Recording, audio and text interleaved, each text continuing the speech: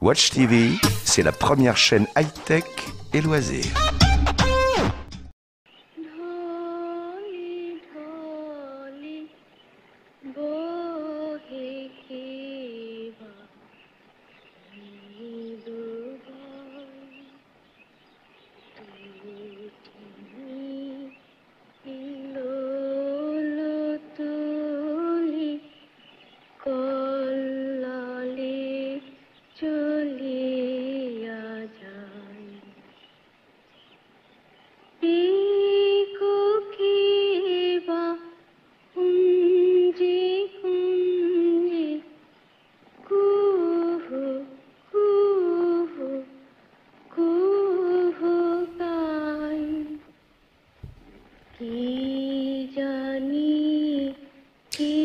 Bonsoir à toutes et à tous, bienvenue sur euh, Cinéwatch.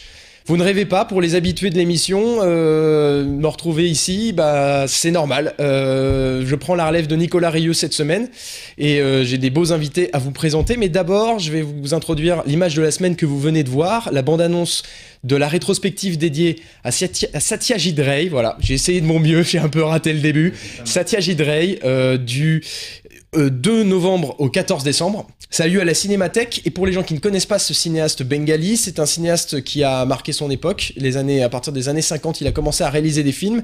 Il a été très inspiré par le néoréalisme euh, dès qu'il a eu euh, ses débuts. Il a découvert le voleur de la bicyclette, ça a été un, choc pour lui et il a décidé de faire ce qui ne se faisait pas à l'époque en Inde, faire un cinéma social, cinéma connecté au réel. euh, et il a fait des films absolument merveilleux que je vous invite à découvrir à la Cinémathèque. Parmi les plus connus, il y a une trilogie, c'est la trilogie d'Apu. Euh, du nom d'un petit enfant que vous suivez sur cette trilogie sur plusieurs années, plusieurs décennies, grandir au fur et à mesure.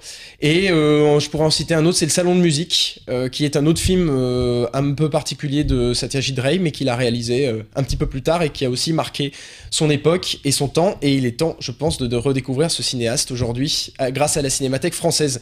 Watch TV, c'est la première chaîne high-tech et loisirs.